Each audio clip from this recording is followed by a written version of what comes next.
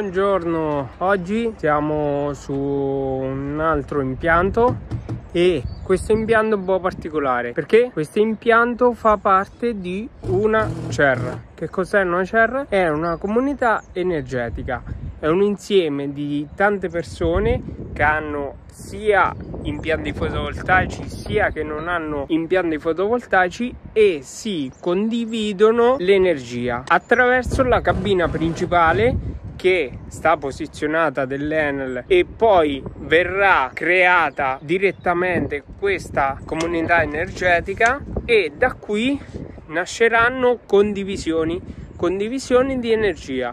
Cioè c'è chi la produce e la dà agli altri e chi la riceve e la consuma. Quindi c'è un guadagno sia per l'uno che per l'altro. Quindi in questo video vi faccio vedere l'installazione e poi cercheremo un po' di approfondire sulle CER.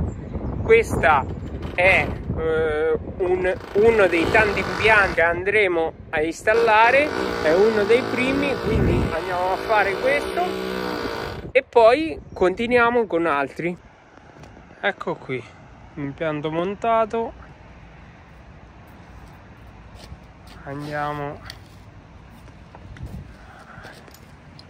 sotto abbiamo messo l'inverter cioè Amos e dopo andiamo a collegare il tutto. Ovviamente è un impianto piccolo 7 pannelli anche perché non avevamo tanto posto sul tetto. E poi andiamo sotto colleghiamo montiamo e attiviamo tutto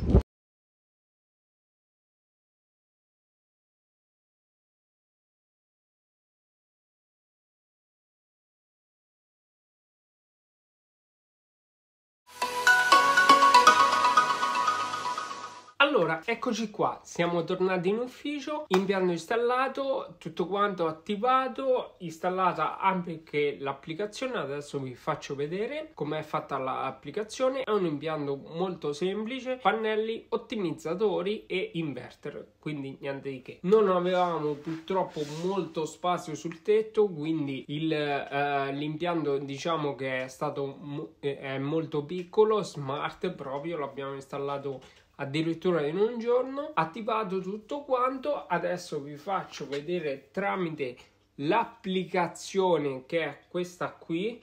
L'applicazione va bene questa la conoscete è di Huawei. E in pratica qui vi fa vedere la produzione dell'impianto. Adesso è zero. Perché? Non perché non funziona perché è notte è sera. E quindi l'impianto non funziona e va in stand by domani mattina appena arrivano le luci solari l'impianto si attiva. Qui potete vedere l'inverter e questi sono i consumi della casa. Poi quando l'impianto produrrà energia questo manderà all'inverter la corrente che poi la manderà prima alla casa e poi quella in eccesso la manderà alla rete. Come vi ho detto questa fa parte di una comunità energetica che stiamo attraverso altre persone che hanno creato questa comunità energetica noi andremo a installare altri impianti per loro. Poi vi farò vedere nei prossimi video. Ma adesso impianto installato tutto quanto funzionante e adesso vi spiego un po' che cos'è la comunità energetica. Così nei prossimi video capiremo meglio cosa andrà a fare questa comunità? Allora, come funziona? Devi immaginare una rete condivisa che può essere creata da un condominio, un quartiere o una comunità locale che installa un impianto fotovoltaico o altre soluzioni rinnovabili. L'energia prodotta è utilizzata dagli stessi membri e se c'è il surplus questa può essere immessa nella rete e quindi venduta. In questo modo i membri non solo risparmiano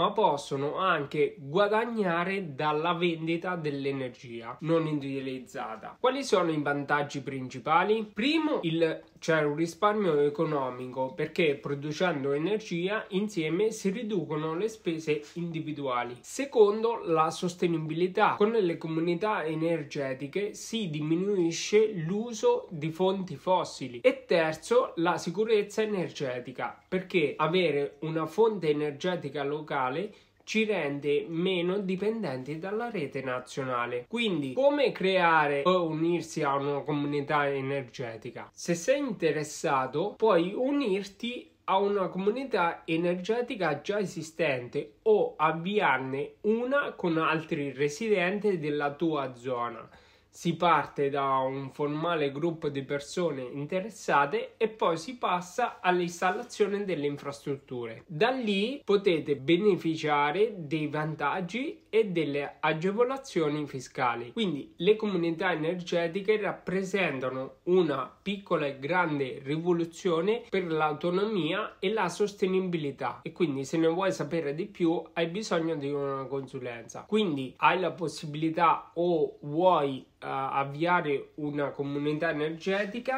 questa è l'occasione giusta. Ci sono già tante in Italia tante comunità energetiche già avviate, quindi tu ti puoi unire direttamente a quella comunità. Per concludere questo discorso, la comunità energetica può essere utile soprattutto per chi produce, ma anche per chi non ha la possibilità di installare un impianto fotovoltaico, perché può accedere a benefici e può pagare di meno la corrente. Quindi ci vediamo ai prossimi video. Mi raccomando, lascia un like, iscriviti al canale, scrivi i commenti, quello che vuoi. Se, mh, mm, eh, se fai parte già di una comunità energetica scrivilo sotto e vediamo come va e come sta andando. Ci vediamo ai prossimi video e ai prossimi impaianti per questa comunità energetica. Ciao!